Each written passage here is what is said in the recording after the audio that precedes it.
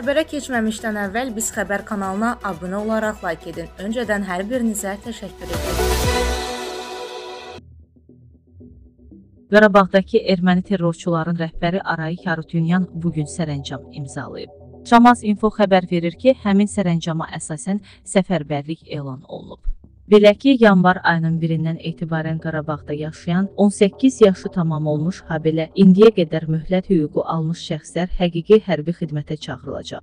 Proses fevralın sonuna kimi davam edəcək. Qeyd edək ki, Qarabağdakı erməni separatçıları hər vəclə qondarma müdafiə ordusunun var olduğunu nümayiş etdirmək istəyirlər.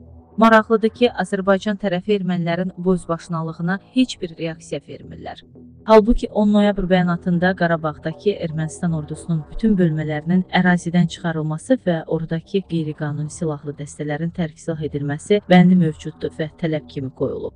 Lakin buna baxmayaraq separatçılar yenə də hərbi qüvvə saxlayır, ordu düzəldi və bu tələbi yerinə yetirməkdən imtina edir.